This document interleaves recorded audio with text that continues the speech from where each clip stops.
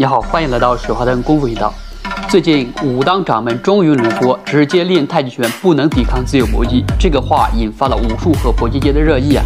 那么，武当掌门的武术功夫到底练得怎么样呢？武当掌门钟云龙啊，自幼习武，什么岳家拳啊、少林拳，甚至练过散打。之后学武当的武术，他的武当太极拳和太极的五行拳非常有名。实战呢，据说钟云龙道长曾在八九十年代镇守武当山门。面对武功高强的挑战者，都能一一击退。后来怕把对手打坏了，要养人家一辈子，就不再接受比武，影响到我的工作了。你再给我就，呃，这个费那个费，谁敢打呀？对不对？我把谁给打了，我养他一辈子，也说不定还养他一家人。谁敢打？对不对？不敢打。实战如此厉害的武当掌门，绝招是什么呢？主要就是后发先至。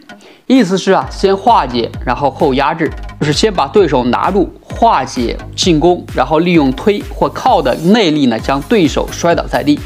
武当掌门周云龙和自己的弟子呢，做了一下示范。尽管上了年纪啊，但是道长的身手还是那么的好。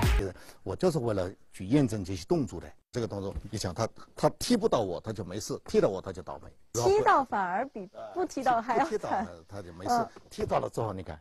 我就能控制他，对不对？他就他就很糟糕，我这个手就保护了这里，这个抬过来，你看，你看，我把它一带，它就会倒，我不费劲，你看，不行，我不用体力，对不对？哎呀，对，我这掌门钟云龙道长和一个练空手道的高手也对练了一下，空手道高手的直接被掌门的内力呢击中，愣愣的站在一旁，确实服了。道长还有个本事，那就是太极张三丰那样的睡功。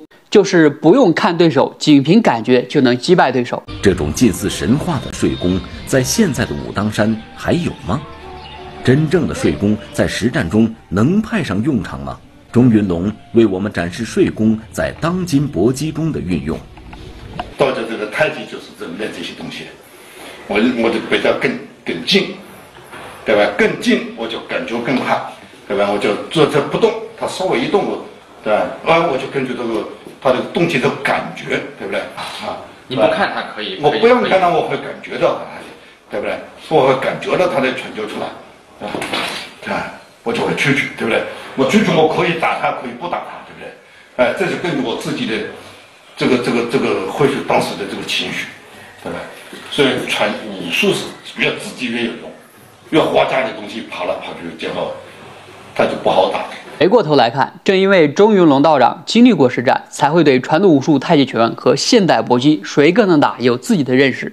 真正的实战就是没有花架子，就是如此的简单和直接。你觉得呢？欢迎留言评论，关注我，下期见。